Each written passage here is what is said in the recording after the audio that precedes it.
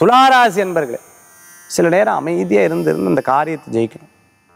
நிச்சயமாக இருப்பேல் சித்திரை சுவாதி நட்சத்திரத்துக்கு நீங்கள் அமைதியாக இருந்தால் மற்றவன் அமைதியாக இருக்க விட மாட்டேன்.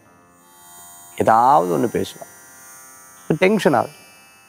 ஆ டென்ஷன் ஆகாமல் இருக்கிறதுக்கு என்ன பண்ணுறது சில பேர் சொல்லுவாள்ல இன்னைக்கு பூரா சுவிட்ச் ஆஃப் பண்ணி விட்டனப்பா எந்த பிரச்சனையும் வேண்டாம் அந்த மாதிரி ஏதாவது ஒரு காரியத்திலேருந்து இன்னைக்கு கொஞ்சம் சற்று உங்களுக்குன்னு கொஞ்சம் நேரம் ஒதுக்கி விளக்கி நிச்சயம் நன்மைகள் கூடி வரக்கூடிய அற்புதமான முயற்சி பிரகாசிக்கும்.